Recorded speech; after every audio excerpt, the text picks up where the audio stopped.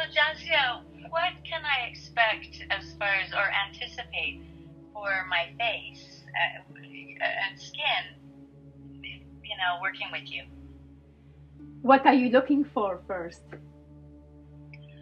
I would love to um, have my skin kind of reflect being vibrant inside and have my skin represent that as an expression. The vibration comes first from the inside. Your skin is your biggest organ and it express everything what the body feel. You know all our energy field that come inside ourselves it being expressed from the outside from your skin.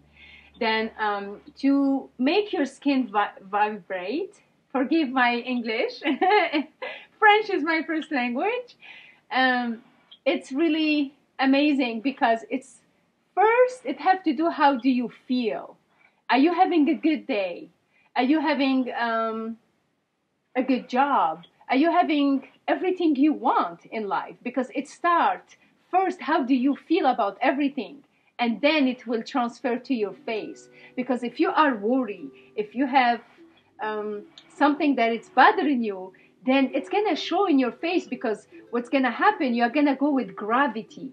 But how you feel inside, if you feel happy, joyful, and any kind of feelings you want to feel, it's get, you're to go against gravity. And against gravity is what lift everything.